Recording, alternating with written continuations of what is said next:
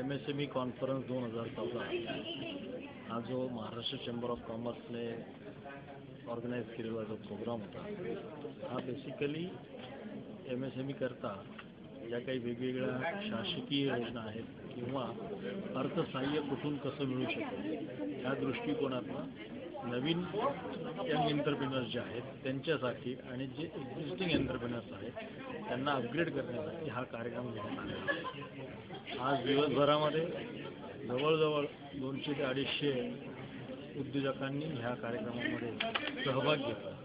आणि एक वेगळ्या प्रकारची ही कॉन्फरन्स आज महाराष्ट्र चेंबरच्या त्या दालनात झालेली आहे. आणि ह्या चेंबरच्या कॉन्फरन्समुळे नवीन नवीन उद्योजकांना आणि जे काही एक्झिस्टिंग उद्योजक आहेत त्यांना ह्या वेगवेगळ्या असलेल्या स्कीम्सच्या बाबतीत जसे एन एस आय सीच्या स्कीम असतील बँकेच्या स्कीम्स असतील त्यांची संपूर्ण माहिती मिळाल्यामुळं त्यांच्या उद्योगात एक वेगळी कलाटणी देण्याचं प्लॅटफॉर्म हे आजचं होतं असं माझं मत आहे. आज आपला एम एस एम एवरती प्रोग्राम झाला एक मोठी कॉन्फरन्स घेतली आपण त्याला साधारणतः दोनशे लोक आले होते. त्यानंतर आपण फर्स्ट सेक्टरवरती आपण बोललो फायनान्स युअर बिझनेस म्हणजे कोणत्याही एम एस एम ई सेक्टरवरती तुम्हाला जर काही उद्योग वाढवायचा असेल तर त्याच्यासाठी तुम्हाला फायनान्सची गरज आहे. तर पहिला क्वेश्चन त्याच्यावरती बोललं गेलं फायनान्स त्याला विविध आपण प्रायव्हेट ॲज वेल ॲज की पब्लिक सेक्टरमधल्या ज्या बँक्स होत्या किंवा जर प्लेयर्स होते त्यांना आपण बोलवून त्यांना एक प्लॅटफॉर्म क्रिएट करून दिला आणि त्यांना आपण बोलायचं.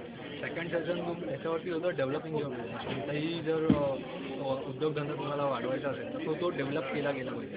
त्याच्याकरता आपण जे प्लेयर्स बोलवले तर जे स्पीकर्स बोलवले होते ते असं होतं की त्यांनी स्वतःहून बिझनेस चालू केला आणि त्यांनी तो ग्रो केला.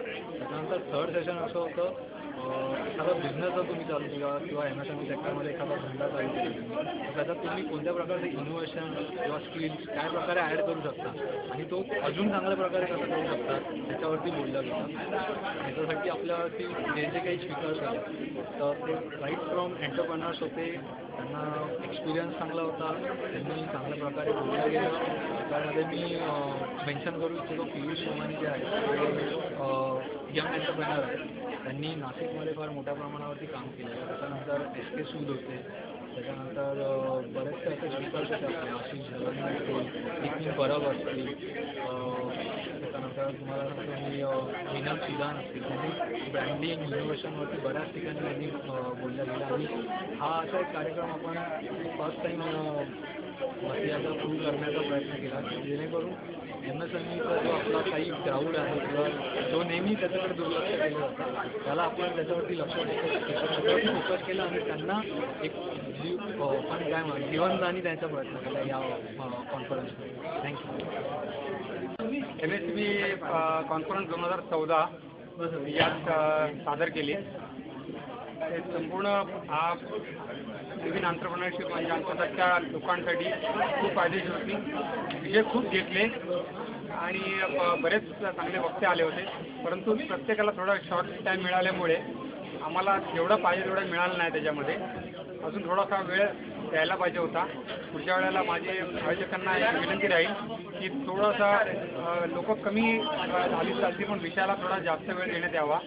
आणि आजचे हे जे शेवटचं सेशन होतं तेही चांगलं होतं. म्हणजे पर्सनल डिस्कशन हे जे तुम्ही कसं हे केलं पाहिजे मोटिवेशन वगैरे किंवा तुमचा बिहेवियर ॲटिट्यूड कसा पाहिजे बिझनेसचा आणि दुपारी सुद्धा जे बँके लोकांच्या बँकेच्या जे सांगितलं गेलं स्कीम्स वगैरे त्याही खूप चांगल्या होत्या.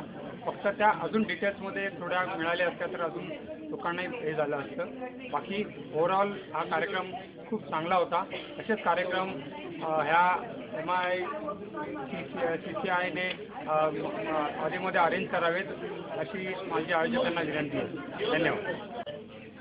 आजच्या महाराष्ट्र चेंबर ऑफ कॉमर्सने आयोजित केलेल्या या सेमिनारमध्ये जो business how to develop business हा मला खूपच आवडलेला विषय आहे. कारण प्रत्येकाकडे आयडिया असते फायनान्स मिळत त्यासाठी बँक्स आहेत पण त्याचं कसं तुम्हाला डेव्हलप करता येईल बिझनेस याच्याबद्दलची डिटेल माहिती आजच्या प्रोग्राममध्ये आणि असे सेमिनार सगळ्या महाराष्ट्रामध्ये वारंवार झाले. मला वाटतं वुमन एंटरप्रिनरची टीम खूप जास्त चांगली डेव्हलप होईल आणि आपल्याला खूप मोठे मोठे उद्योजक छोट्या ह्याच्यापासून स्केलपासून मोठ्यापर्यंत गेलेले लवकरच बघायला मिळेल. Thank you so much Maharashtra chamber of commerce industry आणि ॲग्रिकल्चर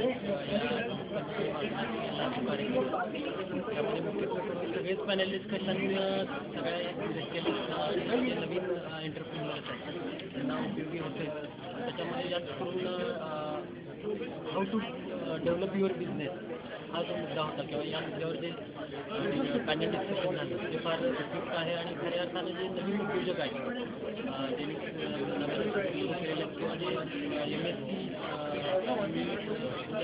त्यांना या ज्या आयडिया आहेत किंवा अशा पद्धतीनं एखादी आयडिया डेव्हलप करायची बिझनेसला कसं डेव्हलप करायचं यातून या डिस्कशनमधून चांगले डिस्कशन आले. किंवा जो शेवटचा सेशन झाला की त्याच्यामध्ये इनोव्हेशनबद्दल जे बोललं गेलं की इन्व्हेन्शन आणि इनोव्हेशनमध्ये असणारा जो डिफरन्स आहे खऱ्या अर्थानं प्रत्येक उद्योजकानं आपल्या उद्योग इनोव्हेटिव्ह ॲक्टिव्हिटी करणं आणि ते लोकांच्यापर्यंत पोहोचवणं गरजेचं आहे खऱ्या अर्थानं ही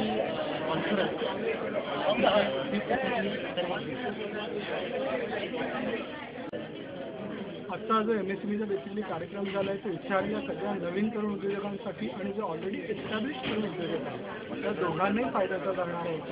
कारण का त्याच्यामध्ये फायनान्स त्याच्यानंतर तुमचं मार्केटिंग कसं झालं पाहिजे? तुमचे मेन स्किल आणि सॉफ्ट स्किल या सगळ्यांना एकत्रितपणे घेतलेला हा कार्यक्रम होता.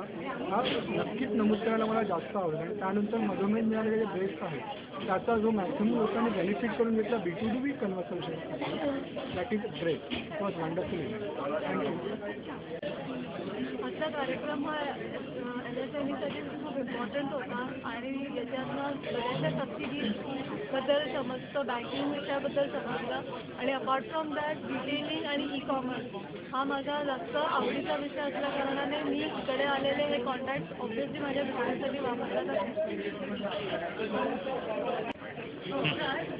कार्यक्रमाचा विषय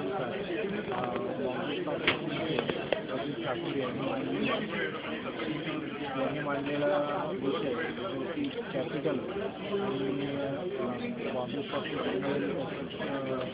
कसं प्रेझेंट करायचं आपली स्वतःची कंपनी कशी भरभरावी काय होती हे त्यांनी सांगून दिली हा विषय मला सांगितलं So today uh, I liked the third session very much, which was adding value to MSME through skills, technology, and innovation, which is much needed uh, for the today's entrepreneur. The, the the first generation entrepreneur, the second generation entrepreneur really need this.